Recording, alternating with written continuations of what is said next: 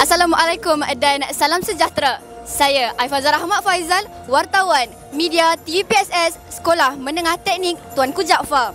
Hari ini kami berada di Inti International University Nilai.